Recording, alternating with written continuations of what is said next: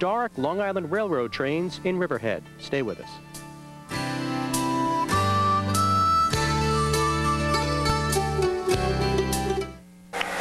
Back to the East End. Our next stop is Riverhead, actually right by the Riverhead train station. If you ever drive by, you may have noticed some of the old-fashioned Long Island Railroad cars. Well, they were brought here by the Railroad Museum of Long Island. Joining me, one of the members, the vice president of the group, in fact, Al Cohen. Al, good to see you. Doug, my pleasure. Good to meet you and good to have News 12 here. Oh, this is a great, great site. You have some terrific things here. Thank you. This is, uh, what, a caboose, obviously? This is a 1963 Long Island Railroad caboose. Uh, we use it for a number of purposes here at the Railroad Museum. Now, what, what is a caboose? What, did passengers sit in there? What was it used now, for? this was used by uh, freight trains and freight train crews in the bay window windows. They would look at the train to make sure there were no problems with hot journal boxes or overheating of the cars. Oh, so this was sort of a vantage point. So there at the end, kind of as a troubleshooting. This was the last car of the train. Okay, why don't we take a peek inside? Good.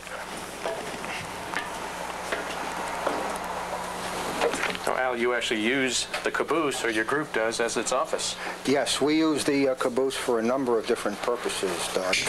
We use it as a uh, meeting room. We use it as a lunchroom. We also use it in the summertime when it's hot and steamy outside and we're working on the equipment. We come in here, we open both doors, and we get a nice flow of air. This is the bay window area you were talking about. This is the bay window. The windows on either end, and of course on the other side as well, where the crew members would watch the train, make sure there were no hot spots or any uh, bad things happening with the equipment, and uh, was a vantage point for the train crew. Al, tell me about your group a little bit. You're uh, volunteers, train Yeah, buffs? we are an all-volunteer group. The organization was founded in March of 1990, so we've got an eight-year anniversary coming up. We are all volunteer. We are a nonprofit organization. We have our nonprofit 501c3 status from the IRS. And we had two objectives when the organization was formed. One was to preserve and protect the equipment you see here. And secondly was the uh, illustration and uh, showing the uh, railroading history of Long Island. Al, this is a very impressive looking uh, engine. What is this that we're on? This is uh, an Alco RS3 diesel engine. Uh, it was built in 1955 and was used in service uh, on many branches of the Long Island Railroad. Al, this is one of two engines that you have on site here? Right, right face to face with this engine is our crown jewel, our focal point, which is steam engine 39, which we will talk about in a few minutes. What else do you have here? Well, over there at the far end, we have a 1914 Combine. Combine. Okay, explain that. What is that? Combine is a combination passenger and baggage car. wow, that goes back to 1914? 1914. How built- old is the railroad? The Long Island Railroad was uh, organized and incorporated in 1834. 1834. I don't think most people realize that. And by 1844, there was steam service to Greenport, which is about 20 some odd miles east of here. What was 1834? What was the railroad doing way back then? I mean, there weren't, uh, you know, workers going into Manhattan and Penn Station. What was the primary use of the railroad way back then? Well, the railroad then was really uh, a means to get people from New York to Boston. Since there was no overland route, they would have to come via Long Island, then hop a ferry back the mainland. So Oh, this very was a interesting. route from New York to New England So we were- via Long Island. We were kind of a stepping stone, huh, for the New York to Boston Indeed people. it was, right. What else do we have here, Al? Over here we have a 1928 baggage car, and as you look at the color, uh, the paint scheme of the car, it is in the Dashing Dan uh, paint scheme of the 50s and 60s. Our oldest piece of equipment is a 1910 RPO. RPO. RPO that stands is for Railway Post Office car. It was built in 1910 by the American Car and Foundry Company. Al, I have to say this is one of my most favorite cars. This is a double-decker passenger car. Yeah, this is a very unusual and interesting car, Doug. Uh, it was built in 1932. Uh, it was a joint effort between the uh, Pennsylvania Railroad and uh, the Alcoa Aluminum Company of Pittsburgh. And you were Uh, telling me that double-decker cars were used in the railroad actually right up to the 70s. Right. Uh, these cars were built in the 30s and then into the 40s. They were in use through the late 60s, early 70s, and then The last of the double-deckers were scrapped in uh, the early 70s, except for 200, which we're sitting in now. I got to imagine this must be very big with the kids, I would think, right? Uh, the kids love it. People love it. Again, uh, the caboose, this car, uh, is a big attraction. How many uh, people did this hold, this the double-deck car as opposed to a regular? Capacity of this car was a little over 100 people, so it did improve the capacity greatly. Uh, Normal would be about, about 70, 80 people at that point in time. So it did increase capacity and was uh, very profitable from a revenue point of view. okay, yeah, we've saved the best for last. This is a very, very impressive-looking engine. Tell us about this. This is our steam engine number 39.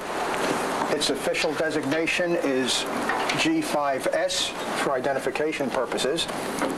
It was built in 1929 by the Pennsylvania Railroad for the Long Island Railroad and was one of 31 such engines built for the LIRR. Okay, Al, where you're standing is, uh, I guess where years ago the coal would be shoveled in? Yeah, that is the firebox. Uh, the coal would be shoveled in by the firemen to create uh, what we call a perfect fire. And the temperature on that was about 3,000 degrees, so it was a white-hot fire, but it had to be in order to propel the uh, engine efficiently and properly. 3,000 degrees. 3,000 degrees. Unbelievable. Now, you're actually going to try to, one of the main missions of your group is to restore this engine to working uh, condition. Yes, as a matter of fact, we hope to restore 39 to working order in about two years, and at this point, uh, would like to give some uh, much-needed thanks. Our application for $800,000 in funds was uh, sponsored by Suffolk County. So our first set of thanks goes to Suffolk County and the county executive, Mr. Bob Gaffney.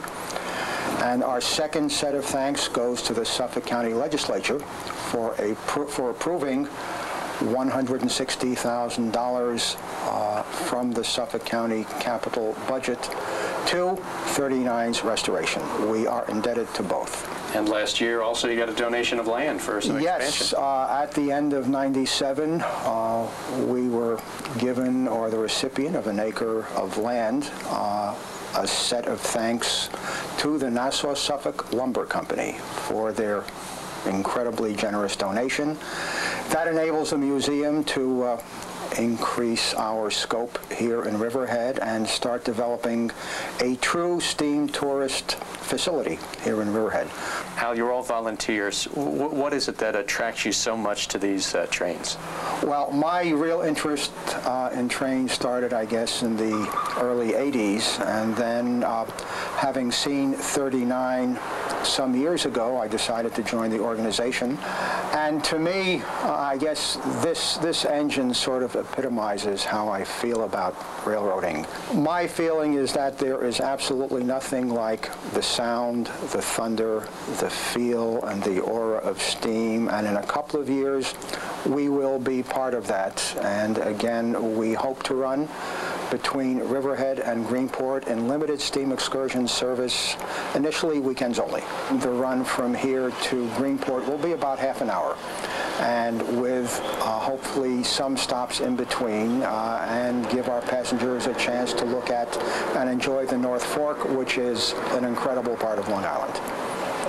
A great tour. Thank you very much. Good luck to your group. It's our pleasure. We, we enjoyed having you here, and uh, we hope we'll see you out in Greenport at our other museum facility. If you'd like to take a closer look at these trains and come aboard, you can do so virtually any Saturday year-round, right by the Riverhead train station. The Railway Museum out in Greenport will be open after Memorial Day.